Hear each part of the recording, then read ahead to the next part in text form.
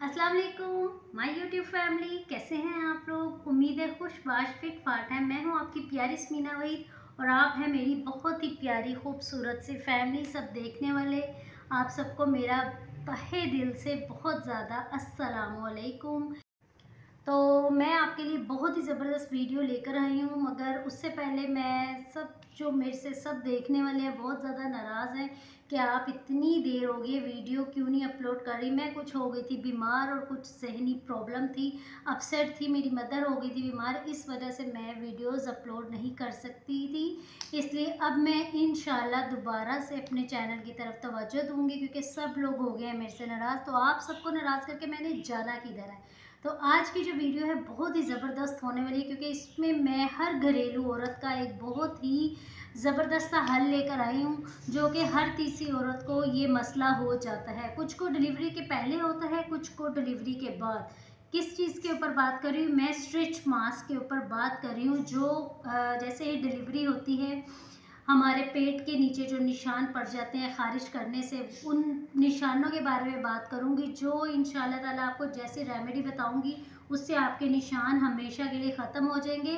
तो आए चले, मगर उससे पहले क्या करना है? वीडियो को और चैनल को। एंड तक देखना है, चैनल को सब्सक्राइब करना है, लाइक करना है, शेयर करना है और फॉलो करना है। अगर फॉलो नहीं करेंगे तो आने वाली वीडियो आप तक नहीं पहुंचेगी। और रेड कलर का बटन होता है, बेल आइकन का, उसको ज़रूर प्रेस कीजिएगा ताकि आने वाली मेरी हर वीडियो आप तक पहुँचे। तो अब आप रेमेडी को नोट करें, इसके लिए क्या क्या चीज़ें चाहिए, ये आपके सामने है।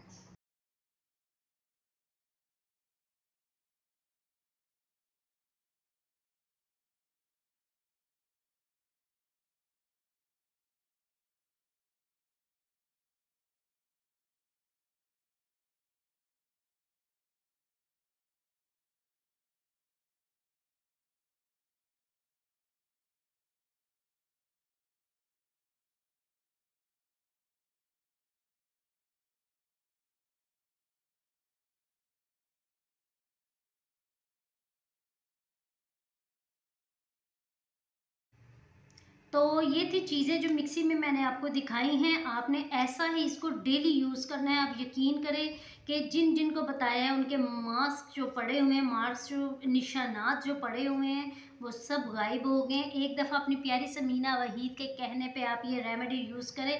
इन ताला आपकी भी टमी पेटी जो भी है, सब साफ़ हो जाएगी। आजकल मेरी जो छोटी सिस्टर है, उसके भी ये मसला चल रहा है। उसके घर भी बेटा हुआ है। उसको भी शायद ये प्रॉब्लम हो, वो भी मेरे से पूछ रही थी। उसको भी मैं कहूँगी, यही ट्राई करें इन उसका ये मसला हल हो जाएगा। तो अब आपने मेरे लिए दुआ करना है, अल्लाह ताला मुझे सेहत, सलामती, ज़िंदगी दे।